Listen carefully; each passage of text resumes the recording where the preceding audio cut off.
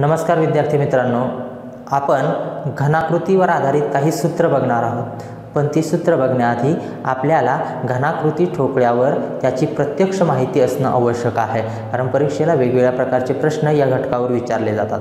पहा हा संपूर्ण ठोकळा जर सगळ्या बाजूने रंगवला आणि रंगवल्यानंतर आपण त्याचे एक एक सेंटीमीटरचे असे खण तयार केले तर आपल्याला पुढील प्रश्न विचारले जातात. आता या प्रश्नांची आपण प्रॅक्टिकली माहिती जी आहेत प्रत्यक्ष प्रात्यक्षिकाद्वारे माहिती जी आहे ती या ठोकळ्याच्या माध्यमातून घेणार आहोत. सर्वात प्रथम आपण घनाकृती ठोकळ्याची लांबी रुंदी आणि उंची हे घटक समजून घेऊया.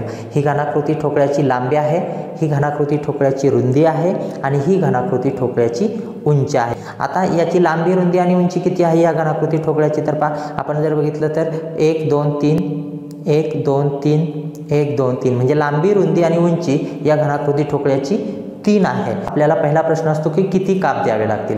पहा आता आपण प्र प्रत्यक्ष प्रा प्रात्यक्षिक करून बघूया. एक काप इथं दोन काप. दोन काप झाले. पण असे काप देऊन आपल्याला थांब थांबता येणार नाही. आपल्याला असेही काप द्यावे लागतील. एक दोन. म्हणजे किती काप झाले? चार. एक आपण एक दोन हे दोन काप दिले. त्यानंतर असे एक दोन चार काप दिले. परंतु अजूनही आपण असे काप देणं गरजेचं आहे. दोन म्हणजे घनाकृती ठोकळे पूर्ण वेगळे होतील. एक दोन. म्हणजे पहा आपण किती काप दिले? एक दोन. एक दोन. तीन चार आणि पाच सहा. एकूण किती काप दिले आपण? सहा काप जे आहे ते आपण याला दिलेले आहे आता दुसरा प्रश्न असतो की सगळ्या बाजूने रंग दिलेला आहे तर एकाच बाजूला रंग लागणारे किती ठोकळे असतील असा प्रश्न आपल्याला दिसतो. आता आपण एक बाजू समजून घेऊया की या बाजूने आपण जर बघितलं तर हा ठोकळा आहे याला इकडं तीन बाजूने रंग लागणार आहे. हा ठोकळा आहे याला इकडून इकडून दोन बाजूने रंग लागणार आहे. याला एक दोन तीन बाजूने रंग लागणार आहे. तसंच खालचं तीन दोन तीन. याला दोन दोन. हा मधला एक ठोकळा आहे की ज्याच्या फक्त एकाच बाजूने रंग लागणार आहे. बाकी सगळ्या ठोकळ्यांना दोन किंवा तीन ठिकाणी रंग लागतो. मग हा एका पृष्ठावरचा एक ठोकळा झाला. अशी एकूण पृष्ठ किती आहेत?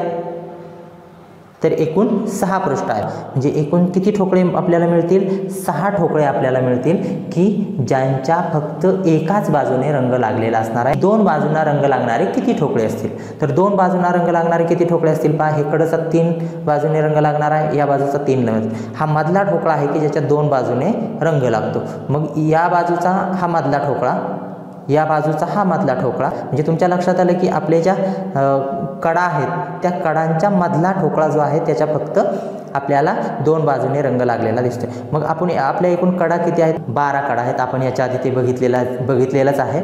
एकूण बारा कडा आहेत. म्हणजे बारा कडांना असणारा हा मधला ठोकळा आहे त्या ठोकळ्याला फक्त दोन बाजूने रंग लागलेला असणार आहे. म्हणजे एकूण किती ठोकळे असणार आहेत? दोन बाजूंना रंग लागणारे बारा ठोकळे आपल्याला मिळणार आहेत.